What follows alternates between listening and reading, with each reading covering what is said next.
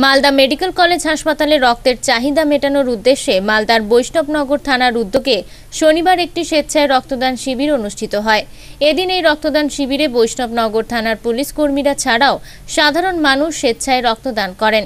সংগৃহীত রক্ত Malda medical college হাসপাতালের ব্লাড ব্যাংকের হাতে তুলে দেওয়া হয়।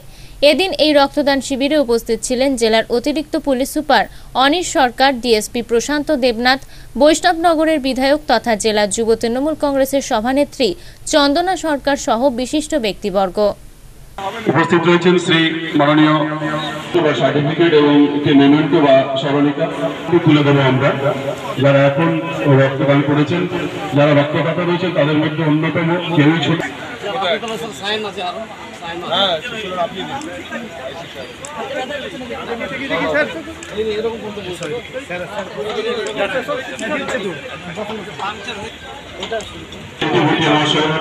সার্টিফিকেট এবং মেমেন্টো তুলে দিচ্ছেন আমাদের এমএলএ মাননীয় শ্রীমতী চন্দনা সরকার মহাশয়ের সঙ্গে।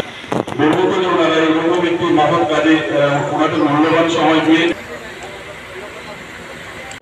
পশ্চিমনগর থানার উদ্যোগে ব্লাড ডোনেশন ক্যাম্প। এই ক্যাম্পে উপস্থিত হয়েছেন আমাদের অ্যাডিশনাল এসপি সাহেব ডিএসপি হেডকোয়ার্টার এবং থানার মেজবাবু এবং সমস্ত আধিকারিকরা আছেন।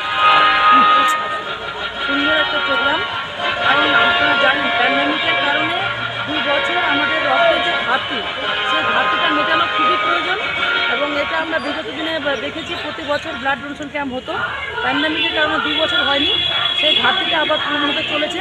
তার জন্য থানার সমস্ত আধিকারিক থেকে শুরু করে মেজবাবু, আইসি সবাইকে আমি ধন্যবাদ দেবো যে এত সুন্দর একটা প্রোগ্রাম নিয়েছেন। এবং আমাদের তরফ থেকেও আমরা আগামী দিনে এই প্রোগ্রামগুলো করব। মালদা থেকে দেবু সিংয়ের রিপোর্ট, আনন্দ বার্তা।